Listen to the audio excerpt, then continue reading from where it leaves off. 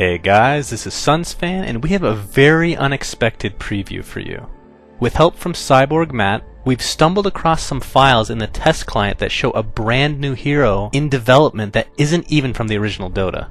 We found a screenshot of him, as well as the tooltips for all his skills. As you can see from the screenshot, his ability icons are unfinished, albeit hilarious.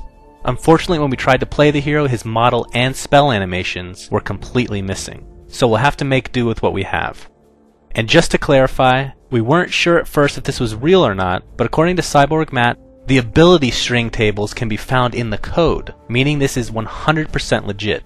So without further ado, my name is Sunsfan, and this is an introduction to Sobek the Black Caiman. Sobek seems to be a strength support slash tank hero who's hard to ignore considering he indirectly forces you to attack him. Voracious Appetite is a single target ability that will work on both creeps and heroes, but they apparently have different effects.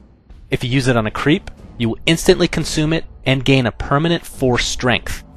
This strength will be lost upon death, but you can stack it up to 4 times, therefore giving you 16 extra strength. If you use it on a hero, you'll slow them by 25% for 3 seconds, and temporarily steal 16 strength from them for 20 seconds. So in total, you're able to rack up 32 strength, which translates to an insane 608 health. Link of Fortitude is Sobek's second ability and is single target as well. This one's meant for your allies though. When used on an ally, it will create a link between them and Sobek.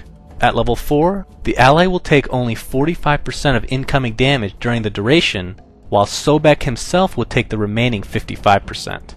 This has a breaking point of 1200 units, and a duration of 20 seconds.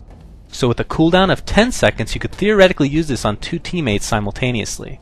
The important thing to note here is that the damage that's dealt to Sobek will be converted to magical damage. The reason this is crucial is because of his next ability. Protective Hide is a passive ability that will essentially allow Sobek to take more damage the lower his life is. For every 10% of HP he's missing, he'll gain 5% magic resistance. So to give you an idea on how this works, if Sobek has less than 10% health, he will not only have the 25% magic resistance that all heroes start with, but will add on an additional 45 to give him a grand total of 70% magic resistance. And finally we come to Sobek's ultimate, which is named Absorption. When cast, any unit within a 700 AoE will have their life leached for 5 seconds. This apparently is not a channeling ability, the really unique mechanic with this skill is that the damage is based on how much HP Sobek is missing overall. At its highest level, it will deal 100% of the health he's missing. We assume the damage dealt will be evenly distributed based on how many units are around. So as far as gameplay is concerned, it plays much like a Juggernaut or Luna ultimate, in that it will be less effective when there are multiple units caught in the AoE. In closing, Sobek seems to be a really unique hero who fills multiple roles. At first glance, he comes off as extremely strong and could probably use some number tweaks, but we're nonetheless excited to see him in action someday. Be sure to visit Cyborg Matt's blog at cyborgmatt.com in order to read more about this yet to be released hero. If you're too lazy to do that, then the link is also available in the description to the video.